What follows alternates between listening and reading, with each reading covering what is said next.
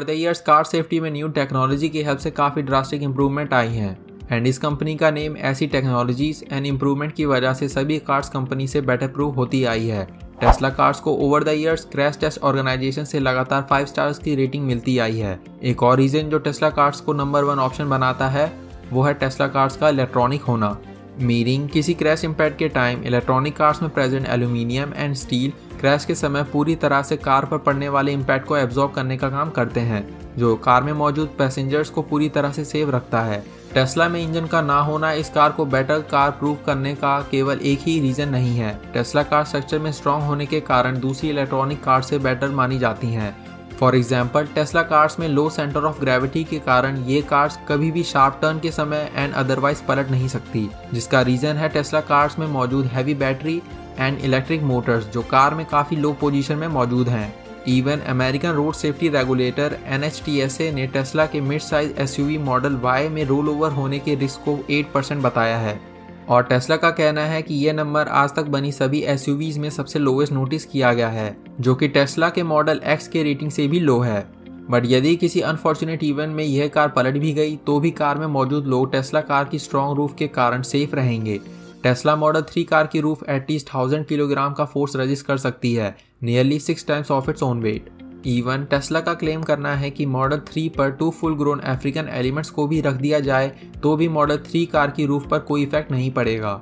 ना कुछ ऐसे एरिया जो टेस्ला कार्स में रियली वीक स्पॉट्स कंसीडर किए जाते हैं, जो है कार्स की साइड जहाँ पर लीस्ट अमाउंट ऑफ़ प्रोटेक्शन मौजूद होती है, जो फ्रंट एंड रियर एंड्स की तरह किसी इंसिडेंट में क्रम्बल होने के लिए डिज़ाइन नहीं किए गए होते हैं। बट अपनी कार्स की साइड्स को स्ट्रॉन्ग बनाने के लिए इलॉन मस्क ने टेस्ला के सभी कार्स के साइड्स को बनाने में अल्ट्रा हाई ग्रेड स्टील का यूज़ किया है।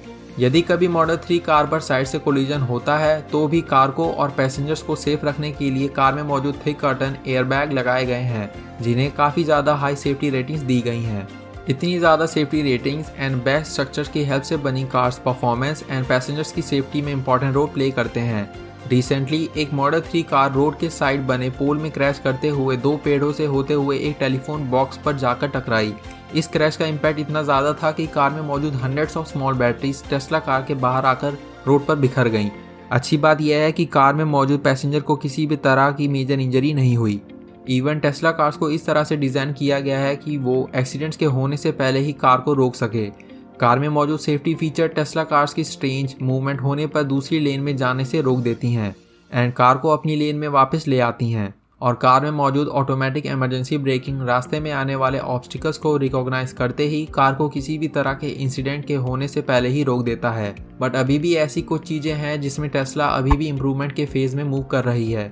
फॉर एग्ज़ाम्पल जब European safety experts Euro NCAP ने मॉडल एक्स की ब्रेकिंग सिस्टम को टेस्ट करना शुरू किया टेस्ट में मॉडल एक्स की ड्राइविंग के समय कार के सामने एक डमी को अपियर कराया गया, जिस समय model X 25 kilometre per hour की स्पीड से ट्रैवल कर रही थी।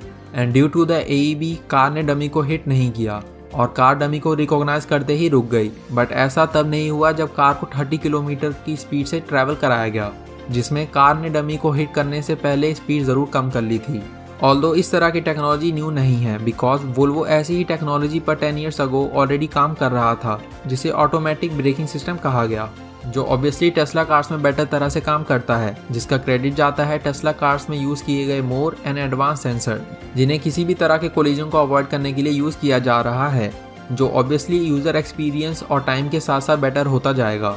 And if Tesla cars India में कॉमन हो जाए तो टेस्ला एआई को ज़्यादा यूज़र डेटा मिलने के कारण इस तरह की टेक्नोलॉजी में इनोवेशन लाने में काफ़ी हेल्प मिलेगी। कीपिंग इन माइंड कि हम किस तरह के ट्रैफ़िक में कैसे ड्राइविंग करते हैं।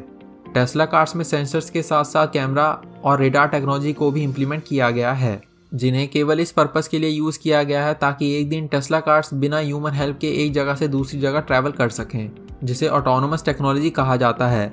जो कि अगेन टाइम और यूज़र डेटा के साथ इम्प्रूव होता आया है। हालाँकि इस तरह का फीचर अभी भी बीटा वर्जन में ही टेस्ट किया जा रहा है, जिसमें सिलेक्टेड कस्टमर्स इस फीचर की हेल्प से सिटी स्ट्रीट्स और हाईवे पर विदाउट अपनी कार को एक्चुअली ड्राइव किए बिना ही ट्रैवल करते हैं। बट ड्राइवर को ड्राइविंग के टाइम पूरी तरह से कार के कंट्रोल्स को अपने हाथों में लेने के लिए पूरी तरह से रेडी रहना पड़ता है if the car stops responding properly अभी के लिए टेस्ला कार्स को कम्प्लीटली ऑटोनोमस नहीं कहा जा सकता। एंड टेस्ला कार्स के राइवल्स की सुने तो उनका बिलीव करना है कि ये दिन कभी नहीं आएगा। जब टेस्ला कार्स पूरी तरह से ऑटोनोमस बन सकें। वायमो के सीईओ e जिन्हें गूगल सेल्फ ड्राइविंग प्रोजेक्ट के लिए जाना जाता था, वो इलॉन मस्क की कंपनी को अपना कॉम्पिटिटर नहीं मानते, जिनका कहना है कि टेस्ला कभी भी ऑटोनोमस नहीं बन सकेगी। जिस पर इलॉन मस्क ने ट्वीट करते हुए कहा कि टेस्ला कार्स में वायमो कार से better AI hardware and software का यूज़ किया गया है। बिलीव किया जाता है कि टेस्ला का self driving software level two से लेवल थ्री में अपग्रेड होने वाला है, जो ऑटो पायलट फीचर से काफ़ी बड़ा इंप्रूवमेंट है। बट फिर भी इस तरह के फीचर को केवल अभी के लिए हाईवे पर ही यूज़ किया जाता है, और इस तरह के सिस्टम पूरी तरह से ऑटोनोमस नहीं कहे जा सकते। ड्राइवर्स को ड्राइविंग के समय अलर्ट रहने की ज़रूरत होती है, इसलिए इस फीचर को अपनी कंट्री में टेस्ट करना एक रॉन्ग डिसीज़न हो सकता है। 2018 में मॉडल एक्स ऑटो पायलट पर सेल्फ ड्राइविंग कर रही थी जब कार में बैठे एक एप्पल इंजीनियर की डेथ हो गई, जो अपने आईफोन पर गेम खेलने के कारण कार पर फोकस नहीं कर रहे थे, जो ड्राइविंग के समय एक कंक्रीट बैरियर से कोलाइड कर गई। इसलिए टेस्ला जैसे ऑटोमेटिक कार्स पर हमेशा सेफ्टी कंसर्न बने रहेंगे। बट ऐसी मिस हैपनिंग के बाद भी टेस्ला के एवरी न्यू मॉडल को लास्ट कार से बेटर सेफ्टी रेटिंग मिलती आई है। But five stars is not necessarily unprecedented fuel पर चलने वाली Lexus E S three fifty and the electric Audi E tron को N S T S scale पर फाइव रेटिंग दी गई है। किसी भी व्हीकल या फिर टेक्नोलॉजी को भले ही हाईएस्ट रेटिंग क्यों ना मिली हो इंपॉर्टेंट यह है कि इस तरह की टेक्नोलॉजी किसी को भी हार्म ना करे, जो हमेशा के लिए एक डिबेट का टॉपिक बना रहेगा। शेयर और opinion in the comment section down below thanks for watching until next time